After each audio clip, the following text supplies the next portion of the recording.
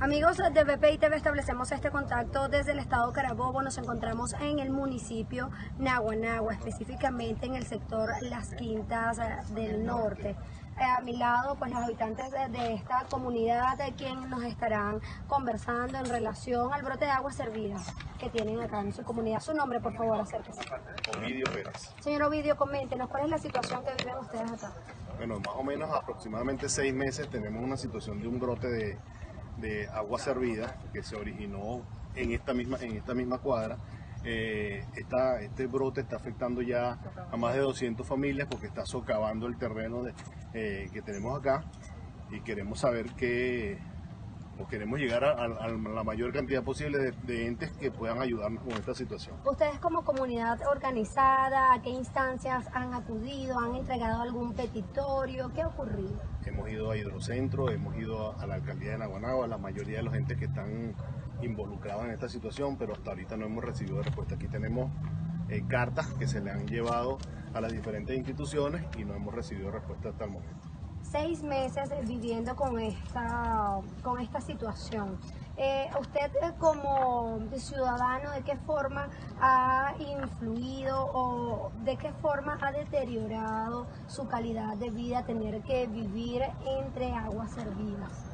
Bueno, lo, principal, o sea, no lo principal, pero una de las principales eh, situaciones que se ha presentado es la, el acceso vehicular. Se han, se han presentado inclusive inconvenientes aquí para el manejo.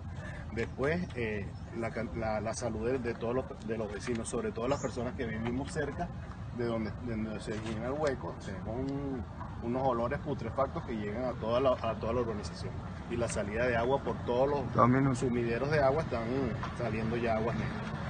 Parte de la información de uno de los vecinos de esta comunidad, vamos a seguir llevando parte de las vivencias de estos ciudadanos que están denunciando el brote de agua servida. Su nombre.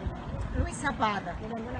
Luisa Parra. Yo tengo 20 años viviendo en esta comunidad de Quintas del Norte y desde el mes de agosto aproximadamente nosotros tenemos este problema de aguas servidas que se originó en a este nivel de la calle A con socavamiento de la placa asfáltica que afecta el, tránsito vehicular.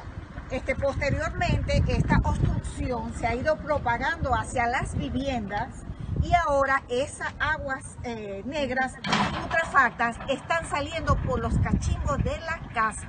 Es decir, que nosotros tenemos que soportar olores nauseabundos a diario y en octubre se llevó la primera carta a Hidrocentro y no se obtuvo respuesta. Ahora, en, enero de este año, comenzando enero de este año, nos dirigimos otra vez, un grupo de vecinos a Hidrocentro, a llevar esa nueva denuncia, esa solicitud y no hemos recibido respuesta. También nos dirigimos a la alcaldía.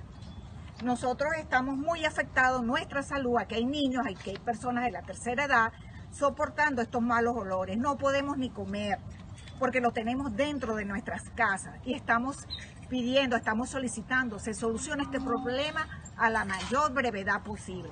De, por otra parte, en, esta, este, en estas placas hay mucha plaga, hay muchos zancudos y estamos temiendo por un brote de dengue o chikungunya. Es decir, que esto nos afecta a nuestra cotidianidad. No podemos realizar nuestras labores diarias de, hacer, de de, roedores, toda la plaga que hay, toda la plaga que hay. Y también estamos solicitando, aparte de esto, fumigación, porque hay muchos zancudos.